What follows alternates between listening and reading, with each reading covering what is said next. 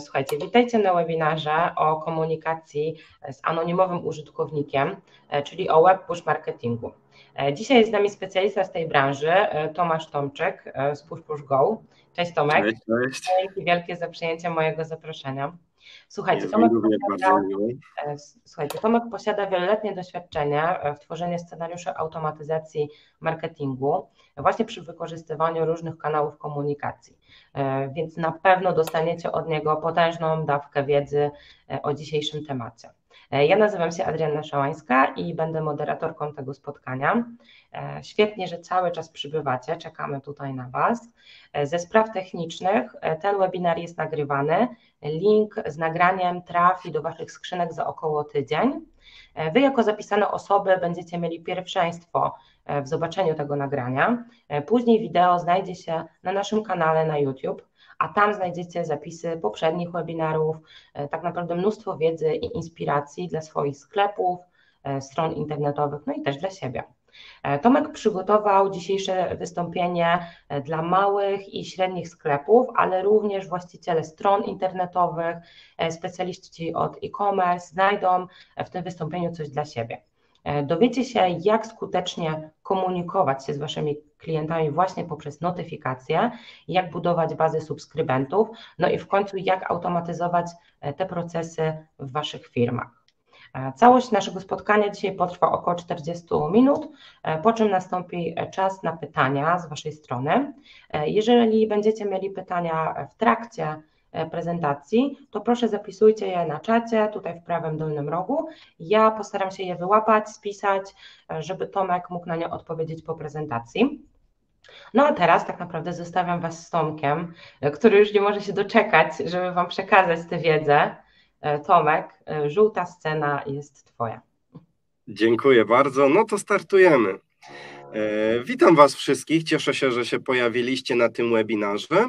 A na webinarze tym chcę Wam opowiedzieć trochę więcej o powiadomieniach WebPush, dzięki którym możecie się komunikować z użytkownikiem anonimowym nie tylko na waszej stronie internetowej, ale również jeżeli ten użytkownik tą stronę już opuścił. Dlaczego ta komunikacja z użytkownikiem anonimowym jest taka ważna? Ponieważ 98-97% ruchu na stronie to są użytkownicy anonimowi, użytkownicy, których nie śledzimy w żaden sposób, nie wiemy kto to jest, nie zostawili maila, nie dokonali jeszcze zakupu nie są zapisani do newslettera, nie kupowali u nas wcześniej, a chodzą po naszej stronie.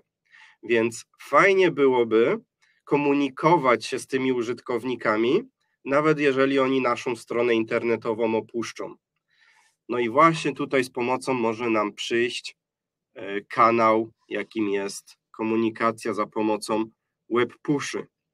Komunikujemy się z naszymi użytkownikami w social mediach, nagrywamy podcasty, używamy reklam, często stosujemy SMS-y, głównie SMS-y transakcyjne, wdrażamy różnego rodzaju czaty na stronie, aby ułatwić komunikację z naszymi użytkownikami, z naszymi klientami. Pewnie większość z Was stosuje już maile lub prowadzi poza działalnością e-commerce jeszcze taką działalność troszkę informacyjną, jakieś blogi. No czy wszyscy z Was stosują mobile pusze, web pusze? Pewnie jeszcze nie. I po to jest właśnie ten webinar, aby dowiedzieć się troszkę więcej o tych powiadomieniach, jak można je wykorzystać, kim są użytkownicy, którzy się na nie zapisują. No i właśnie pojawia się pytanie: skoro jest to użytkownik anonimowy, no to w jaki sposób my do niego możemy docierać z tą treścią? Aby móc otrzymywać powiadomienia WebPush, osoba poruszająca się po waszym sklepie internetowym musi wyrazić na to zgodę. Zgoda wyrażana jest w formularzu zgody poprzez jedno kliknięcie. Zgadzam się na otrzymywanie powiadomień o promocjach i nowościach. Tak, chcę, od, chcę być informowany o rabatach. E, chcę wziąć udział w specjalnej ofercie, zapisać się do programu lo lojalnościowego i otrzymywać od Was informacje wcześniej niż inni. I taką zgodę, jeżeli ktoś wyrazi na Waszej stronie internetowej, to następnie do użytkowników takich możecie kierować powiadomienia push zarówno wysyłane jako kampanie masowe, tak jak newsletter mailowy, kampanie targetowane, tak samo jak maile e, po różnych tagach do różnych grup odbiorców, e, różne komunikaty, jak i automatyzować te komunikaty, czyli wdrożyć sobie marketing automation i reagować odpowiednim komunikatem o odpowiedniej treści w odpowiedniej chwili do konkretnej osoby.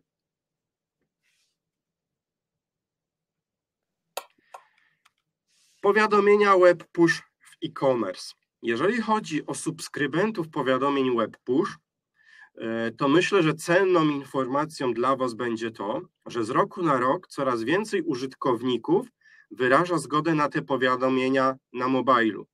Jak widać na przedstawionym wykresie, który pochodzi z takiego raportu, który przeprowadziliśmy, w roku 2019 65% użytkowników wyrażało zgodę na mobilu. To już więcej niż na desktopie. W roku ubiegłym było to już ponad 80%.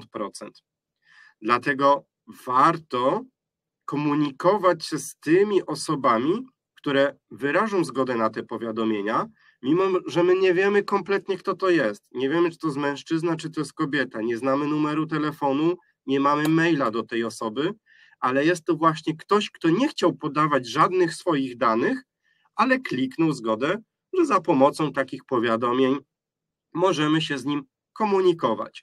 Na mobilu te powiadomienia wskakują do belki powiadomień, zapisują się tam, gdzie wszystkie inne powiadomienia e, na Androidzie czy na systemach podobnych do, Android, do Androida opartych na tym systemie.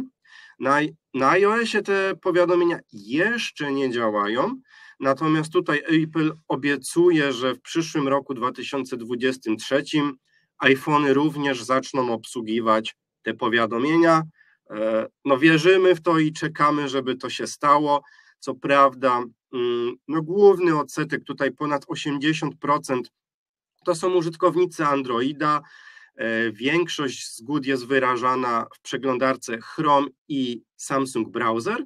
Natomiast fajnie, jeśli te powiadomienia będą obsługiwane również na iPhone'ach, będzie to nowa grupa docelowa, do której będziemy mo mogli dotrzeć z takimi komunikatami. Powiedziałem Wam, że żeby otrzymywać te powiadomienia web push, należy wyrazić zgodę. A więc, aby użytkownik mógł wyrazić zgodę na te powiadomienia, Wy musicie stworzyć ten formularz zgody i zamieścić go na Waszej stronie internetowej. Formularz zgody powinien być wyświetlany na wszystkich podstronach, tak aby niezależnie od tego, do jakiej podstrony ktoś przejdzie, zostanie przekierowany z zewnętrznego linku czy z wyszukiwarki, aby ten formularz wyświetlił się i aby użytkownik miał opcję wyrażenia zgody. Jeżeli tą zgodę odrzuci, to zapytamy się go jeszcze dwukrotnie za jakiś czas, czy zgadza się, czy się nie zgadza. Jeżeli trzy razy odrzuci chęć zapisania się na takie powiadomienia, odpuszczamy, e, nie pytamy go o to więcej. Chyba, że używamy integracji prostej i takiego formularza, który jest dwuetapowy. Wyrażenie zgody nie odbywa się poprzez jedno kliknięcie, a poprzez dwa kliknięcia, to wtedy możemy decydować, ile razy chcemy pokazywać ten formularz zgody, jeżeli ktoś go odrzuci, z jaką częstotliwością chcemy go pokazywać i nie ma tutaj żadnej blokady, ile razy on się może wyświetlić jednemu użytkownikowi. Co więcej, możemy promować zapis do tych powiadomień w social mediach czy w kanale komunikacji, który już stosujemy, czyli na przykład w e-mail marketingu lub w komunikatach wysyłanych SMS-em. Dlaczego? Jest to inny kanał komunikacji. Tutaj często docieramy z innymi informacjami i docieramy z nimi bardzo szybko.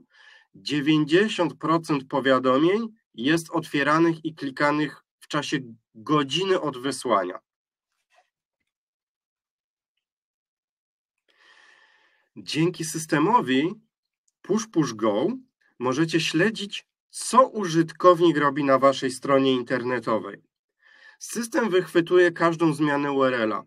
więc widzimy po jakich stronach użytkownik się poruszał, ile czasu spędził na poszczególnych podstronach.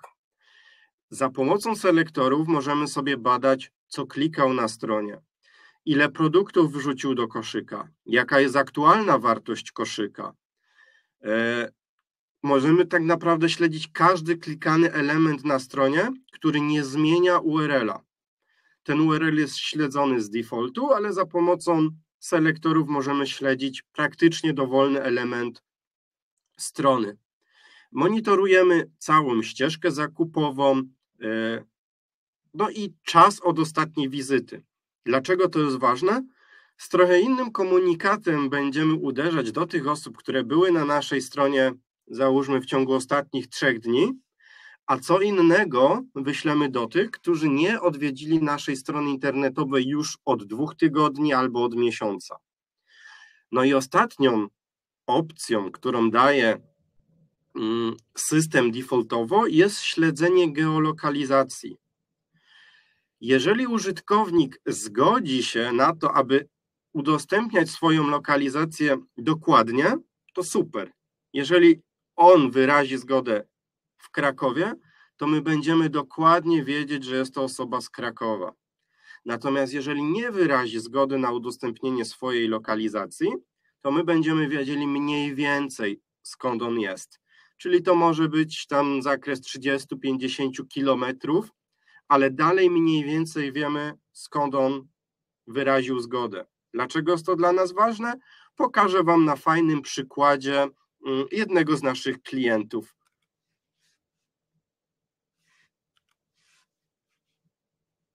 Kampanie push możemy wysyłać bardzo podobnie jak kampanie newsletterowe, mailowe. Czyli możemy tutaj komunikować się z informacjami ogólnymi do wszystkich użytkowników. Powinniśmy się komunikować w sposób targetowany do posegmentowanej bazy z komunikatami, które interesują tylko tą daną grupę odbiorców no i możemy oczywiście wysyłać informacje promocyjne, e, możemy ściągać ruch z powrotem na stronę, czyli jeżeli użytkownik na tą stronę nie wraca, to czymś przekonać go do powrotu na naszą stronę internetową. E, mogą być to oczywiście komunikaty sprzedażowe, choćby ratowanie porzuconego koszyka, czy ostatnio oglądany produkt, który nie został zakupiony, nie został nawet dodany do koszyka. No i czysto informacyjne, przykładowo, że mamy jakąś promocję z okazji Black Friday bądź darmową wysyłkę przy e, kwocie zakupu powyżej 100 zł. No i właśnie, przykład takiej kampanii. Dlaczego taki przykład wybraliśmy? Wybraliśmy ten przykład, bo zbliża się Black Friday. I tu możecie zobaczyć, jak wygląda takie powiadomienie na mobilu jak wygląda takie powiadomienie na desktopie. Na desktopie wyświetlane jest ono najczęściej w prawym dolnym rogu ekranu, no i zwija się po 5 sekundach bądź po interakcji do paska powiadomień. No i to samo dzieje się na mobilu. Wyświetla się nam na ekranie takie powiadomienie. Ono pochodzi z przeglądarki, której ktoś używa na telefonie. No i później ono się minimalizuje do paska powiadomień e, w systemie Android. E, w Samsung Browser, w Chromie zawierać ono może dodatkową taką dużą grafikę z tym napisem Black Friday.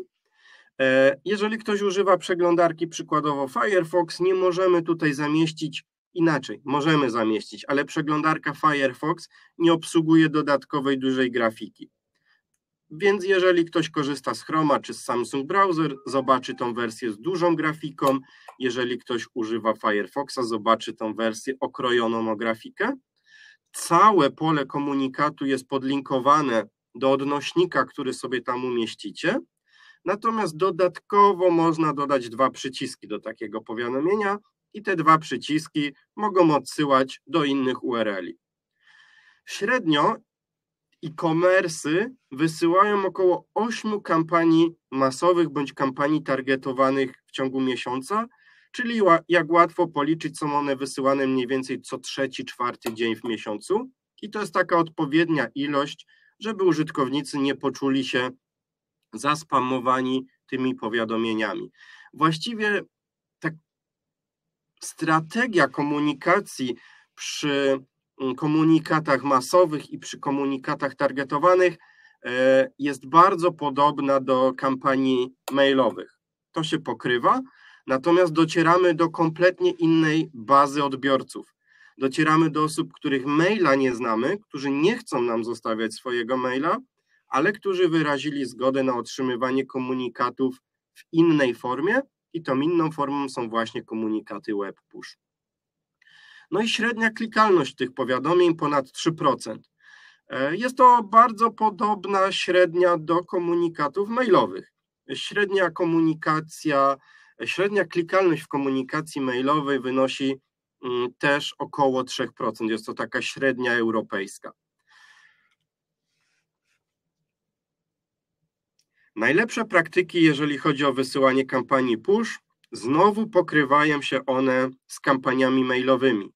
Czyli oczywiście warto wysłać jakąś ogólną informację, która zainteresuje wszystkich użytkowników zapisanych do tych powiadomień, ale tutaj, jak widzicie, średnia klikalność te powiadomienia to jest blisko 3%, niecałe 3%.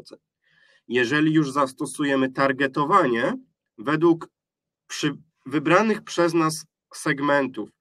E, tym segmentem może być czas od ostatniej wizyty. Tym segmentem może być kategoria, którą ktoś oglądał na stronie. E, tym segmentem może być również geolokalizacja.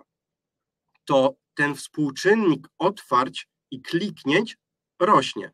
No i tutaj kliknięcia już przekraczają 3%, więc warto to robić. Każda dodatkowa osoba, która kliknie w te powiadomienia, jest dla nas dodatkowym potencjalnym klientem. Przykład TUI, jednego z naszych klientów, jednego z większych klientów. E, przykład, gdzie współczynnik kliknięć przekroczył 4%. A dlaczego? Bo wymyśliliśmy sobie z klientem taką komunikację, że informujemy o tanich lotach i o tanich wycieczkach z danego lotniska. Czyli jak ktoś mieszka blisko Wiednia, to otrzyma informacje o tanich wycieczkach, o tanich lotach z lotniska w Wiedniu. Jeżeli ktoś mieszka blisko lotniska w Krakowie, to po co informować osobę z Gdańska o tanich lotach z Krakowa? Trochę bez sensu. Inny komunikat powinien pójść do osób mieszkających w okolicach Krakowa, inny komunikat do osób, które mieszkają w Warszawie i okolicach, a inny w Gdańsku i okolicach. No i tak, zanim wyślemy kampanię, to powinniśmy zastosować zasadę ABCDE. Czyli powinniśmy wiedzieć, czy ten komunikat, który właśnie chcemy wysłać, powinniśmy wysłać do wszystkich, do jakiegoś segmentu, czy to powinien być komunikat, który będzie odpo odpowiadał automatycznie na jakieś zachowanie klienta, który spełni dane warunki, spełni jakiś jeden warunek, kilka warunków, które my sobie założymy. Następnie, czy w tym komunikacie, który wysyłamy, dla klienta, dla odbiorcy, dla użytkownika, który jest potencjalnym klientem, jest zawarty jakiś benefit. Co on z tego będzie miał, że skorzysta z tej oferty? Następnie content. Jak już pokazywałem, możemy na przeglądarkach Google Chrome, Samsung Browser zastosować taką dużą dodatkową grafikę. Więc warto skupić się na tym, aby ta grafika przyciągała uwagę, aby ona zachęcała do kliknięcia w to powiadomienie. Następnie musimy się zastanowić, gdzie my chcemy przekierować użytkownika. Czy do jakiejś konkretnej promocji, czy do jakiejś konkretnej podstrony, czy do strony głównej, czy może do jakiegoś ukrytego landing page'a, który nie jest dostępny dla wszystkich poruszających się po stronie, a chcemy tam przekierować właśnie ruch z komunikatów pushowych bądź z komunikatów mailowych. No i zaangażowanie użytkownika. Czy ten komunikat, który wysyłamy, to wysyłamy tak o, bo pasuje coś wysłać, no bo zapisali się, no to coś im musimy wysłać, czy wysyłamy go, bo my wiemy, co chcemy zakomunikować, a powinniśmy wiedzieć, po co my to robimy i czy gdybyśmy sami otrzymali taki komunikat, to by nas to zachęciło do przejścia do strony, kliknięcia w takie powiadomienie. No i przechodzimy sobie powoli do automatyzacji. Tak jak powiedziałem, newslettery, czy to mailowe, czy to za pomocą powiadomień push, no to jest nieodłączna część dzisiejszej rzeczywistości, aby się komunikować z użytkownikami swojego sklepu internetowego. Ale nie możemy zostawać w tyle i powinniśmy stosować automatyzację. Tymi automatyzacjami jesteśmy w stanie najwięcej ugrać i tak naprawdę najwięcej zarobić. A o to w tym wszystkim chodzi. Nie wdrażamy sobie systemów automation, komunikacji pushowej bo jest to fajne, tylko wdrażamy to po to, żeby więcej zarabiać i żeby więcej sprzedawać. Co my możemy wykorzystywać w takiej komunikacji automation i co może być jakimś triggerem do wywołania automatyzacji, a następnie warunkiem do tego, czy automatyzacja na kogoś zadziała, czy nie. Możemy się opierać o fit produktowy, o informacje w nim zawarte. E, czy produkt jest dostępny, czy jest niedostępny, czy zmieniła się jego cena, Możemy zaciągnąć sobie grafikę takiego produktu, linkowanie do niego. Możemy szczytywać dodatkowe informacje z data layera, jeżeli taki jest przez Was stosowany. E, możemy używać pętli czasu, czyli czekamy sobie tak długo, aż jakiś użytkownik spełni zadany przez nas warunek. Możemy opierać scenariusze na dacie, czyli przykładowo, trochę inny produkt chcemy promować w poniedziałki, w poniedziałki będziemy wysyłać krem do rąk, we wtorki będziemy wysyłać e, szampon e, i tak dalej, i tak dalej. W każdy dzień będziemy promować inny produkt, tak żeby te komunikaty nie powtarzały się i nie nudziły. No i program lojalnościowy możemy zachęcać, aby zapisać się do takich powiadomień. Nie musisz zostawiać swojego maila, nie będziemy cię spamować w żaden sposób, Będziemy Cię informować tylko o ważnych promocjach, będziemy Ci przesyłać tylko informacje o tym, że możesz skorzystać z czegoś wcześniej niż inny użytkownik, w zamian za to, że pozwalasz nam komunikować się z Tobą za pomocą takich powiadomień. No i scenariusz automation, który moim zdaniem w każdym e-commerce powinien funkcjonować, i pewnie już w Waszych e-commerce'ach funkcjonuje, ale na drodze mailowej, a warto ratować te porzucone koszyki również za pomocą komunikatów web push. Dlaczego? Bo tego maila mamy dopiero wtedy, jeżeli ktoś pierwszy raz dokona u nas zakupu i na ścieżce zakupowej zostawi nam maila, lub jeżeli zapisał się nam do newslettera, zachęcony różnymi formami, ale musi się zapisać i tego maila zostawić. A co z użytkownikami, którzy tego maila nie pozostawili którzy jeszcze u nas nie kupowali, a chodzą po stronie? No możemy ich zachęcić do tego, aby zgodzili się na otrzymywanie powiadomień push, a jeżeli oni to zrobią, to my widzimy, co oni na stronie robili, czy zaczęli proces zakupowy, czy go dokończyli, czy nie, ile produktów mają w koszyku, na jaką wartość koszyka i my możemy automatycznie reagować możemy zareagować po prostu po określonej ilości czasu, po 5 minutach, 15, 2 godzinach czy jednym dniu. E, cześć, wróć do nas, widzimy, że nie dokończyłeś zakupu, produkty nadal na ciebie czekają.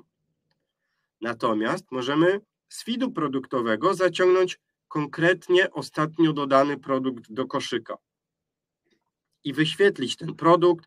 E, automatycznie to powiadomienie może zostać podlinkowane do tego produktu lub po prostu linkujemy do podstrony koszyka.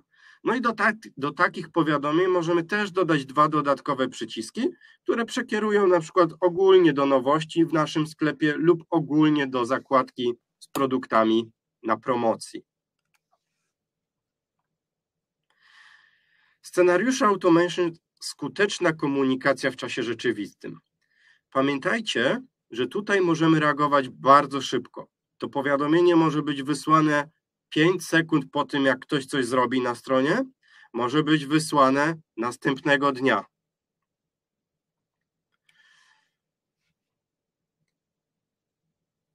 Porzucony koszyk, tak jak powiedziałem, może działać w oparciu o dwie zasady. Albo taki statyczny porzucony koszyk, albo dynamiczny oparty o fit produktowy.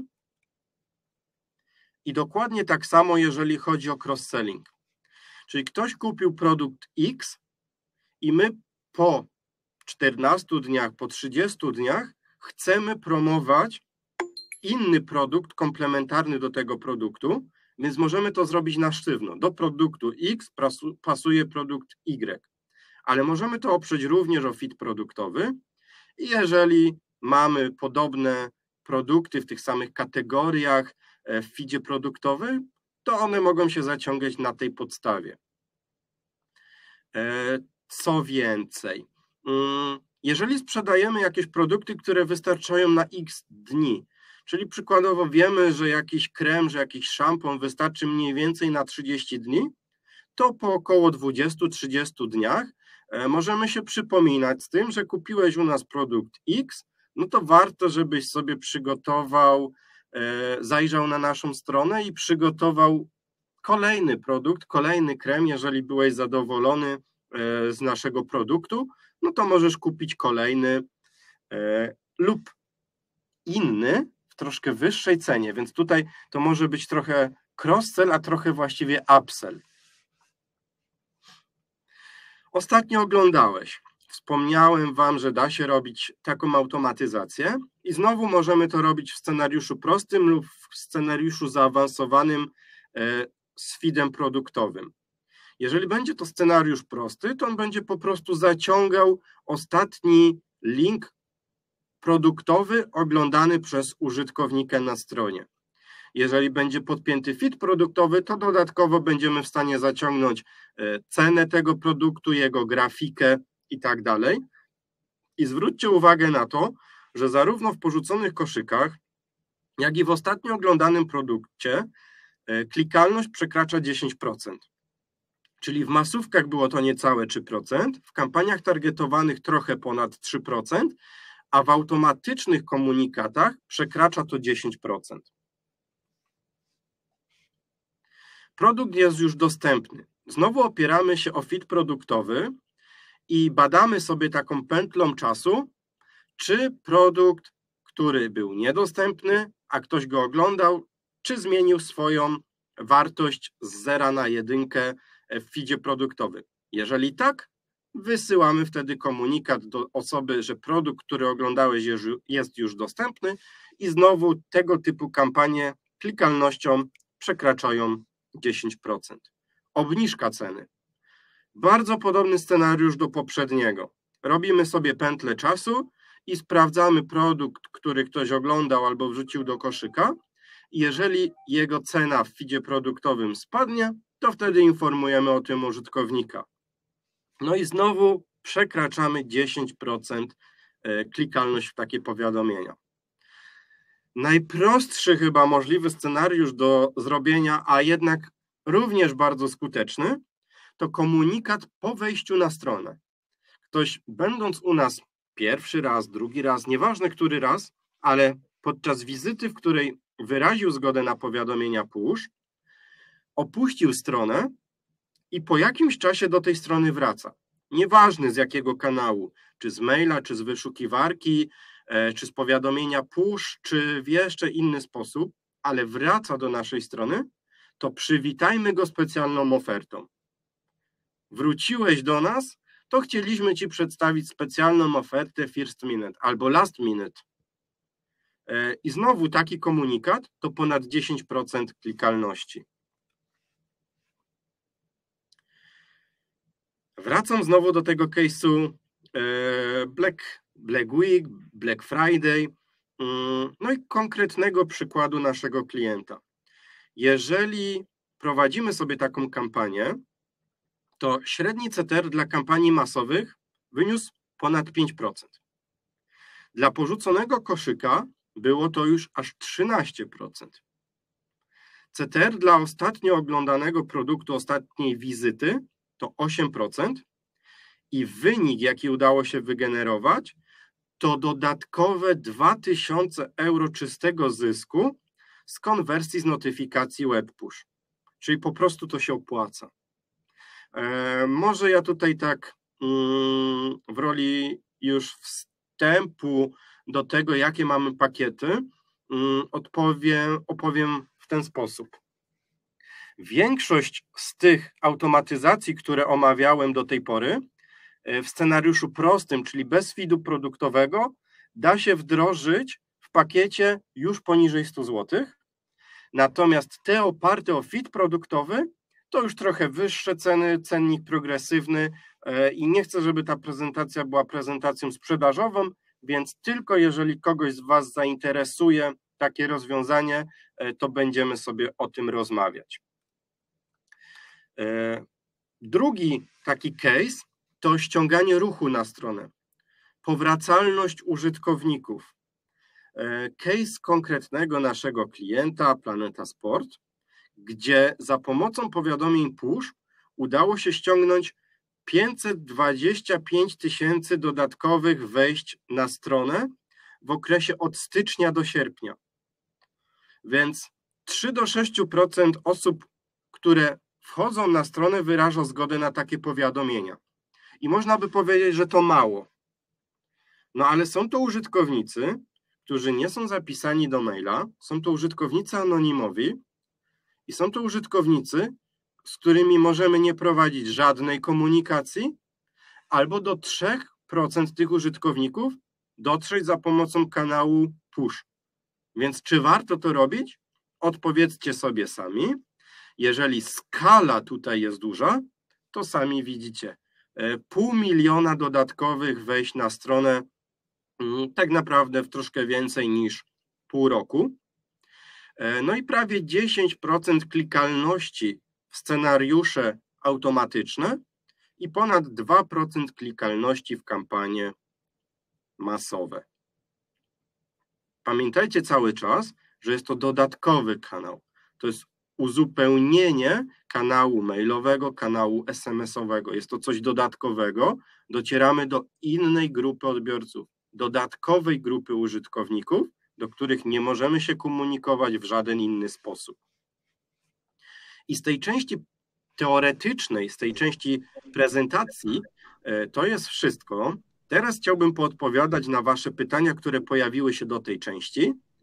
E, jeżeli kogoś z Was ten kanał komunikacji zainteresował, zapraszam do kontaktu ze mną.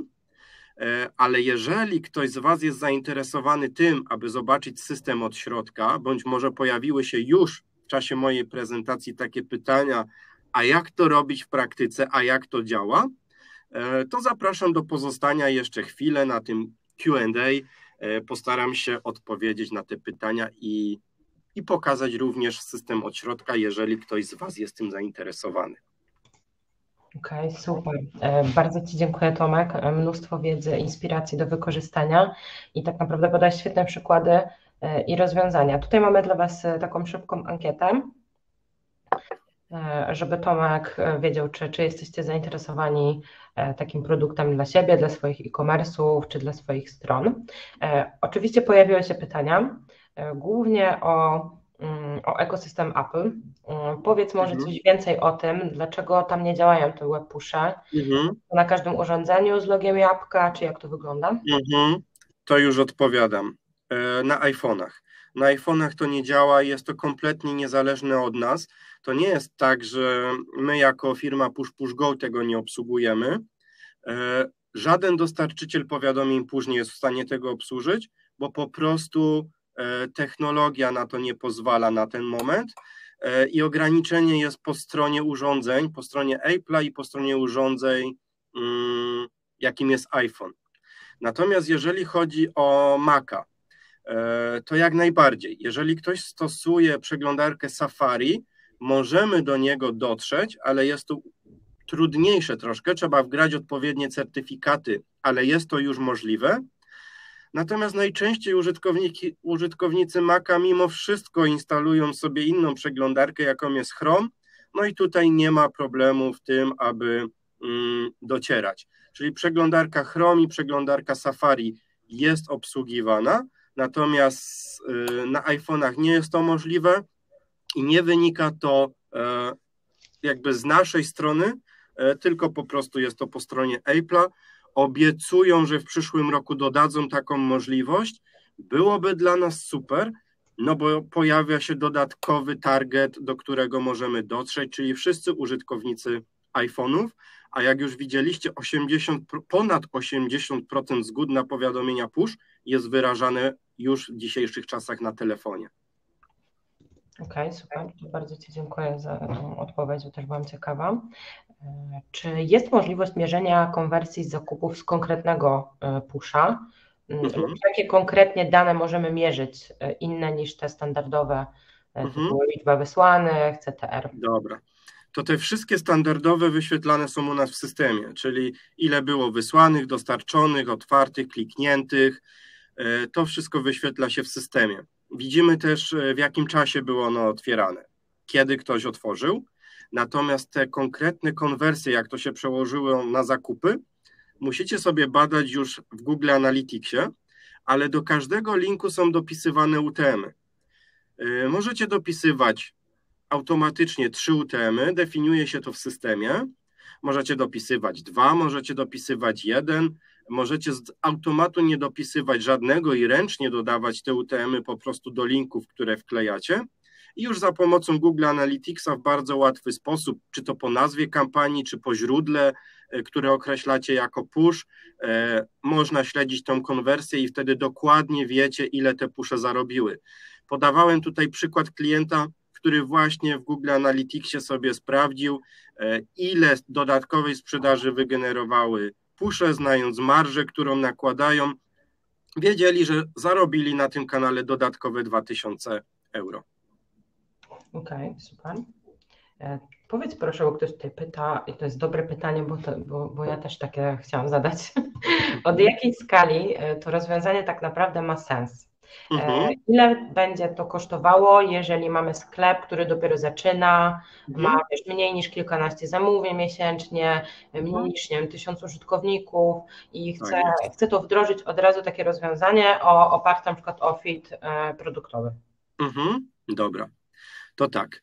Do niedawna docieraliśmy właściwie tylko e, z produktem Enterprise do dużych klientów, dużych firm, takich jak Forev, McDonald's, Onet i tego typu. E, to rozwiązanie zaczynało się od 500 zł i rosło ze skalą ilości subskrybentów, ilości projektów, ilości automation. Natomiast w tym roku wprowadziliśmy takie rozwiązanie jak Push Push Go Light. I ja właśnie odpowiadam w 100% za to rozwiązanie. E, pomagam Wam we wdrożeniu tego rozwiązania, pomagam Wam w obsłudze. Jest to rozwiązanie, którym nie możemy podpiąć feedu produktowego, natomiast większość tych automatyzacji, o których mówiłem, możemy wdrożyć w formie statycznej. E, jest to rozwiązanie bardzo proste do wdrożenia. E, tak naprawdę może zająć to wdrożenie 20 sekund, aby zintegrować się integracją podstawową, bądź jeżeli chcemy to zrobić w troszkę lepszy sposób, czyli nie dwuklik, nie dwuklik, aby użytkownik stał się nowym subskrybentem, a jedno kliknięcie i już staje się e, dla nas nowym subskrybentem, no to taka integracja zajmie pewnie około 2 do 5 minut. I rozwiązanie to e, jest to koszt 89 zł. A właściwie zacząć można od 49. Natomiast wtedy nie mamy tych fajnych automatyzacji, takich jak porzucony koszyk, ostatnio oglądany produkt, e, czy ta oferta last minute, first minute, jeżeli ktoś wraca na naszą stronę. Ale te automatyzacje są dostępne już od 89 zł i są właśnie dedykowane do małych e-commerce'ów. Dlaczego? No bo tutaj mamy ograniczenie 12 kampanii w ciągu miesiąca, ale jest to 3 co trzeci dzień. Więc jest to zupełnie wystarczająca ilość mm, dla tego typu działalności dla małego e-commerce'u. E, mamy 8 gotowych automatyzacji, tych, które najwięcej zarabiają, więc to się po prostu opłaca.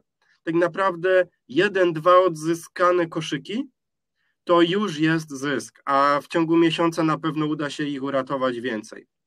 E, więc ja bym tutaj dla wszystkich małych i średnich e-commerce'ów proponował ten pakiet przynajmniej na początek za 89 zł. E, z tym sobie zaczynamy, z tym sobie działamy, sprawdzamy, czy to sobie opłaca. czy to się opłaca. No i jeżeli projekt będzie z czasem rosnąć i zacznie nam brakować te 5000 subskrybentów, e, czy te gotowe automatyzacje, które są w pakiecie Like i chcemy robić coś więcej, chcemy rozszerzać działania, to w każdej chwili możemy rozmawiać o wyższych pakietach, o większej ilości funkcjonalności, o podłączaniu feedu produktowego, e, czy nawet o mobile pushach, e, albo takich rozwiązaniach automation dedykowanych, opartych o wasze wymyślone przez was e, triggery i warunki. Praktycznie wszystko jest możliwe. Okej, okay, super. Wrzuciłam Wam tutaj właśnie link do, do tej oferty i jak to wygląda, jeśli chodzi o funkcje. E, bo, bo na pewno też nie zdążysz tutaj Tomek powiedzieć o wszystkim, więc tutaj można, e, można sobie sprawdzić. Ja też podałam mm, link do profilu e, Tomka na LinkedInie i mhm. do mojego, żebyście mogli napisać ewentualnie po webinarze, żebyśmy mogli sobie porozmawiać. Ok, jest jeszcze jedno takie pytanie. Jak zarządzać zgodami użytkowników na powiadomienia, na przykład kiedy ktoś wycofa tę zgodę mhm. albo nie odświeży przeglądarki, jak to, mhm. jak to wygląda w Waszym systemie? Tak, no to tutaj nie bardzo mamy na to wpływ. Jeżeli ktoś wyraża zgodę, to wyraża zgodę na konkretnym urządzeniu w konkretnej przeglądarce. I teraz tak, jeżeli on e, nie działamy na cookiesach, to jest bardzo ważna informacja, więc jeżeli ktoś wyczyści ciasteczka, to nie wypisuje się z tych powiadomień. Natomiast jeżeli ktoś nagle z przeglądarki Chrome przerzuci się na przeglądarkę Firefox, e, jeżeli ktoś kupi sobie nowego laptopa, e, no to tracimy takiego użytkownika, ale to możemy uważać za wadę i za zaletę.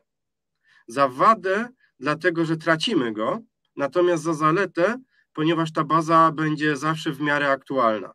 Jeżeli ktoś ponad miesiąc nie reaguje na powiadomienia, jeżeli ktoś zmieni urządzenie, jeżeli nie jesteśmy w stanie dotrzeć do tego konkretnego subskrybenta, e, to on po prostu z bazy wypada. No jest to nie, nieaktywny użytkownik, tracimy go, ale zyskujemy kolejnych nowych.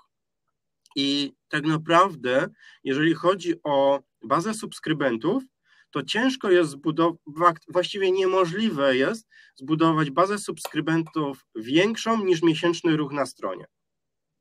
E, cały czas będziemy kogoś tracić, cały czas będziemy kogoś nowego zyskiwać, e, ale taki maksymalny pułap, do jakiej ilości subskrybentów jesteśmy w stanie dojść, to jest mniej więcej e, ruch miesięczny na stronie. I tylu subskrybentów możecie się maksymalnie spodziewać w kanale Push.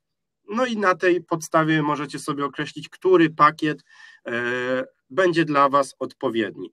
Czy przykładowo w tym Push Push Go Lite Premium 5000 subskrybentów to jest to, co Was urządza, czy 5000 subskrybentów to Wy nazbieracie w ciągu dwóch miesięcy, e, no i będziemy sobie rozmawiać o wyższych pakietach, o, większej, o większych możliwościach wykorzystania naszego systemu.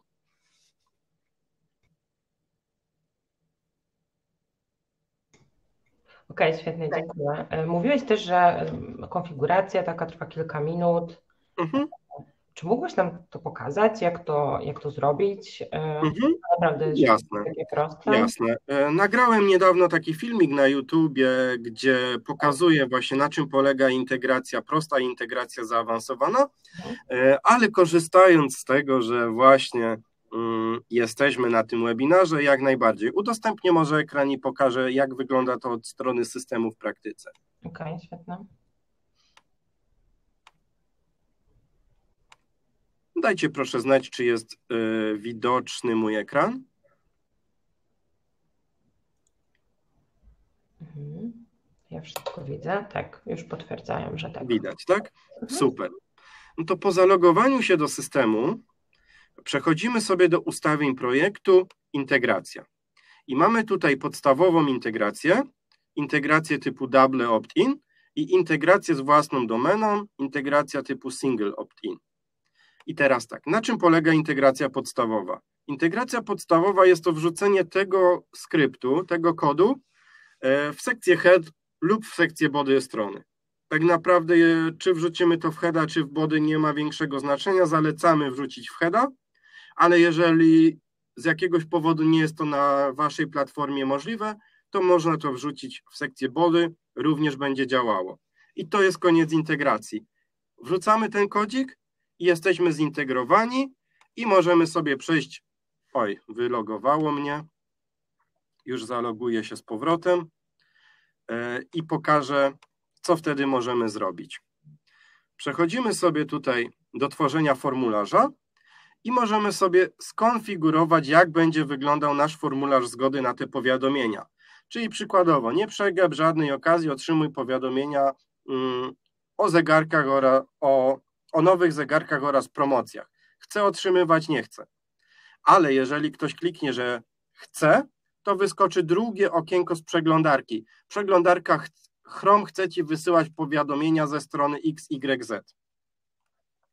E, natomiast jeżeli nie chcemy, żeby to było dwuetapowe, czyli chcemy zastosować tak zwany formularz e, prosty, domyślny, czyli jedno kliknięcie, ale nie możemy sobie edytować treści na tym powiadomieniu, na tym formularzu zgody, e, to wdrażamy sobie integrację z własną domeną. I na czym ona polega? Łapiemy nowych subskrybentów poprzez jedno kliknięcie, ale poza tym, że wrzucamy ten kodzik, to kata w katalogu głównym na naszym serwerze wrzucamy service workera, czyli taki pliczek SWJS e, do pobrania w systemie. Umieszczamy go na ścieżce głównej, w katalogu głównym na serwerze i to wszystko. I wtedy możemy e, stosować tą zgodę single opt-in, no i dodatkowo użytkownik, który otrzymuje to powiadomienie, to widzi, że otrzymał to powiadomienie ze strony firma xyz.pl, e, a nie mm, z naszej domeny, e, którą generujemy sobie, aby móc wysyłać pusze przy integracji podstawowej. Okej, okay, no to, to już wiele, wiele już wyjaśnia. Czy do każdej przeglądarki musimy, musimy jakieś tam osobne e, formularze robić, czy, czy jak to wygląda? Mhm. E, jeżeli stosujemy tą integrację zaawansowaną z własną domeną, to nic nie musimy robić, bo mhm. każda przeglądarka ma zakodowane jakby w swoich funkcjonalnościach, e, jaka będzie treść tego mm, zapytania na formularzu zgody i w jakiej formie ono się będzie wyświetlało. Natomiast to, co jest fajną opcją, to dopasowuje się treść tego komunikatu do języka przeglądarki, w której ktoś jej używa. Czyli jeżeli mamy stronę w różnych wersjach językowych, to jest to super opcja, bo osoba, która wejdzie na naszą stronę z Niemiec czy z Anglii, zobaczy ten komunikat w swoim języku. Okej, okay, rozumiem. A którą ty byś z opcji y, polecił? W sensie, mhm. E, my, my po prostu mamy statystyki i my widzimy, że dużo lepiej sprawdza się integracja z własną domeną. E, tych zgód jest więcej, no jest ich więcej z tego względu, że wyrażenie zgody odbywa się poprzez jedno kliknięcie. E, przy integracji podstawowej wymagane są dwa kliknięcia i niektóre osoby klikają raz i zapominają, że trzeba kliknąć drugi raz. Natomiast obie integracje mają swoje wady i zalety. E, zaletą tej integracji zaawansowanej jest to, że dopasowuje się do języka przeglądarki, e, że jest ona jednoetapowa, ale znowuż zaletą tej integracji prostej jest to, że sami możemy e, ułożyć tekst na tym powiadomieniu. Więc użytkownik świadomie będzie wyrażał zgodę na przykład na otrzymywanie tylko informacji o promocjach, a nie ogólnie jakichś informacji. Więc to wszystko zależy od tego, do czego chcecie to stosować. Natomiast my gorąco zalecamy, aby robić integrację z własną domeną, integrację zaawansowaną. Te zgody zbierają się szybciej i zbiera się ich więcej. Okej, okay, super. Nie mamy już więcej pytań, Tomek, ale mega dużo rozjaśniłeś tym, że pokazałeś ekran. E, słuchajcie, dzięki wielkie za obecność. E, napiszcie proszę w okienku po zakończeniu webinaru, e, jak Wam się podobało i o czym chcielibyście usłyszeć w następnych webinarach. My chętnie dowiemy się po prostu też o Waszych potrzebach na kolejne tematy. Tobie, Tomek, bardzo dziękuję. Dziękuję, że Ja również bardzo dziękuję za zaproszenie z Waszej strony. E, jeżeli ktoś nie jest jeszcze do końca przekonany i się waha, to zapraszam na dwutygodniowe darmowe testy z moim wsparciem. Myślę, że uda mi się Was przekonać e, i sprawdzimy po prostu w praktyce, czy to rozwiązanie u Was się opłaca, bo o to we, w tym wszystkim chodzi, żeby więcej zarabiać. Tak, dokładnie. Super, świetnie. Bardzo Wam dziękuję. Do zobaczenia na następnym webinarze. E, miłego dnia. Trzymajcie się, papa. Pa. Trzymajcie się, cześć, udanego dnia.